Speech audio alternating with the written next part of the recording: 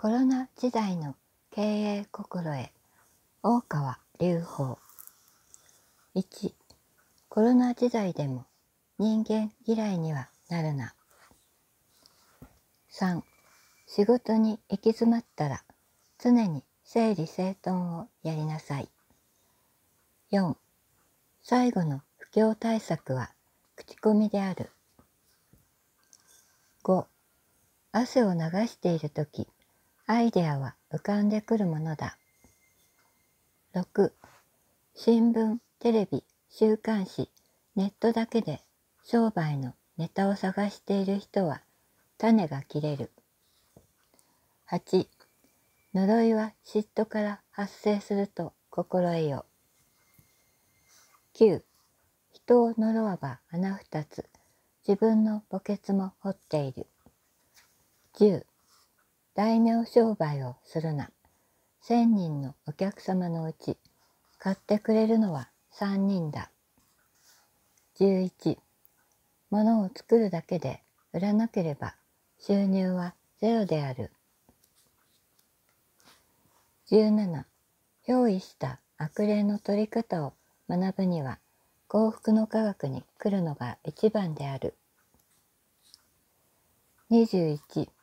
失望は悪魔の最大の武器である。22. 希望は神仏の正す一条の雲の糸である。24. 腹八分目、翌八分目。29. 詐欺師はいつも人の懐を狙っている。疑似餌に釣られる魚となるな。30新しい価値を生み出せ。それは確実に売れる。33人は美しいものに惹かれる。しかしフェイクかっこ偽物だとわかると見向きもしない。34エゴイストの商品やサービスは捨てられる。相手への愛がないからである。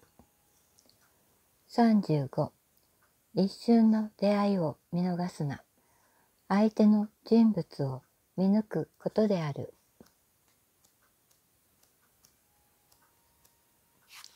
50信念のない経営は挫折の運命が待っている。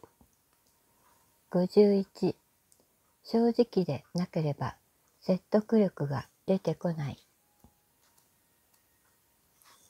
58お客様は神様だ。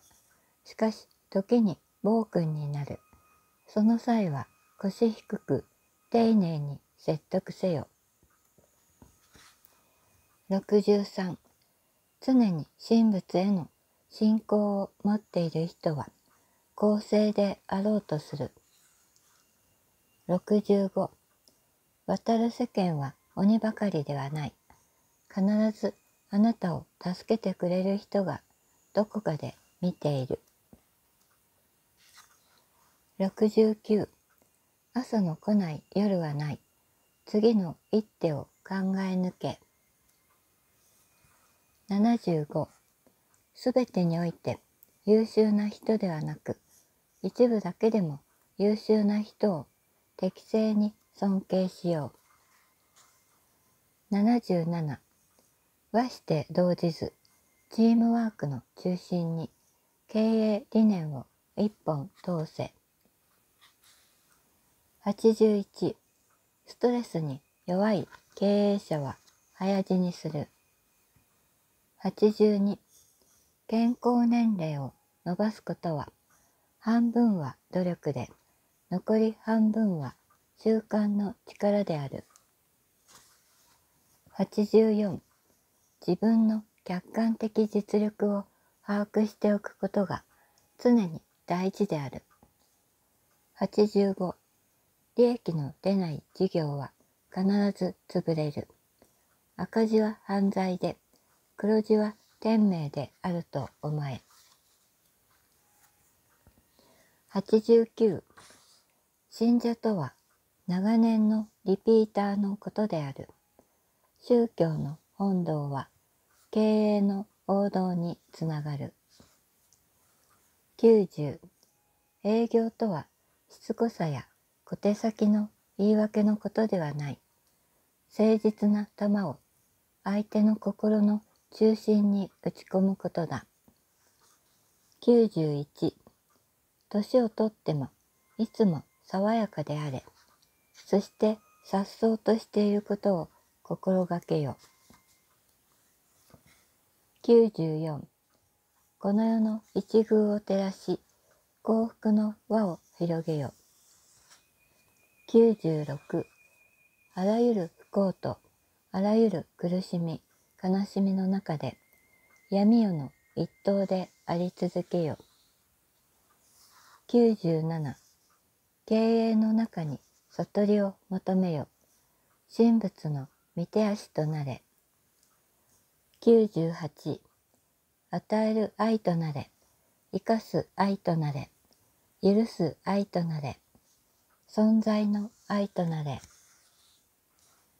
99この世の成功を神仏の栄光で満たそうとせよ。100この地球上のどこかにあなたの志を継ぐ者が必ずいる。後継者への言葉を残せ。